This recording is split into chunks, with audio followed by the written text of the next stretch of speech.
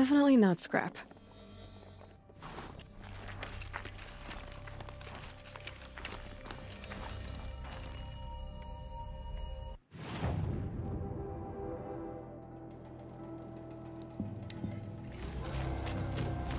Two Fireclaws. This is gonna be tough.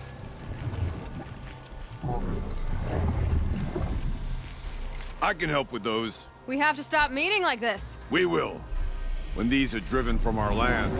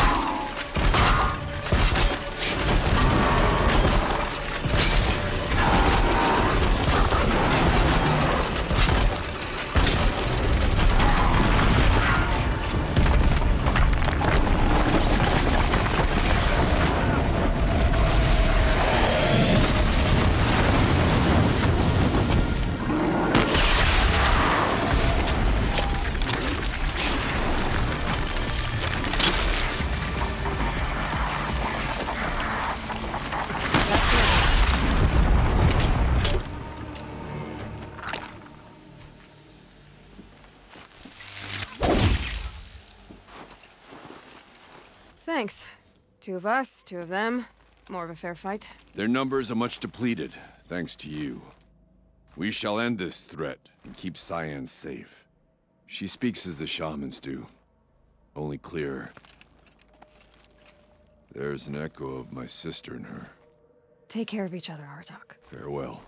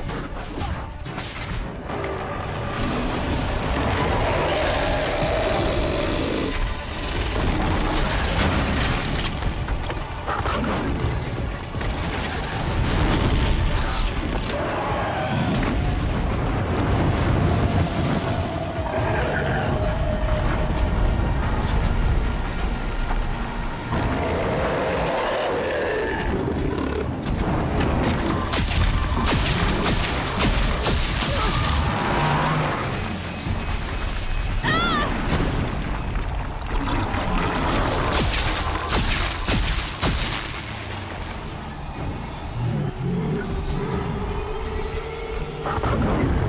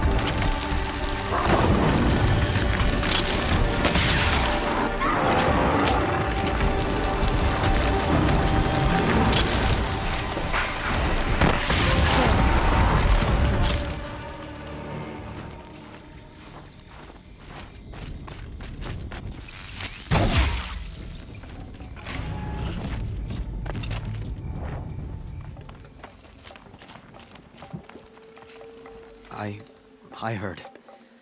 Aratak told me about Ourea. I'm... I'm sorry, Naltuk. No apologies. Aratak said that in the end, she was... filled with the blue light. She got what she always wanted, didn't she? Each time I doubt my way forward, I think I should seek her guidance. And then I remember. The only guidance I'll receive is my own. Which will have to be good enough. There's much to do. The Fireclaws. Aratak asked me to help hunt them down. It's a dire task, but it occupies my attention, so I suppose I'm grateful for it. My scouts have tracked them across the cut. I'd like to think you're right, Naltuk. About Ourea getting what she wanted. I think... I'm sure she did. All her victories.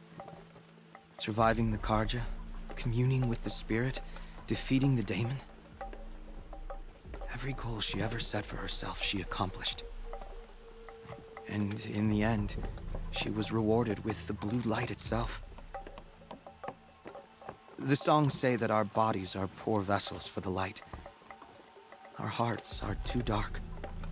But at least for a moment, before she passed, I hope she felt what it was like to be part of it. You don't sound like you trust yourself to take Ourea's place. Ourea inspired. Whatever we encountered, the new machines, the slaughter at Thunder's drum, we knew we would endure. Because she had endured worse. I don't know that I have her confidence. Trust is earned, Aloy. Even in oneself. You earned Ourea's trust, didn't you? She believed you were up to this. And so do I. Do you? I wouldn't have said it if I hadn't meant it. And I suppose I'd better live up to your expectations. I've already found the Fireclaws in Altuk. It's over. That's it then. That's the last of the Daemon's work washed away. The last notes of Ourea's song sung. The Cut is a safer place to live because of what you've accomplished. And now it's time to start anew. I'm glad I could be a part of it. As are we all, Aloy. Thank you. It's good to see Sakuli's painting finished.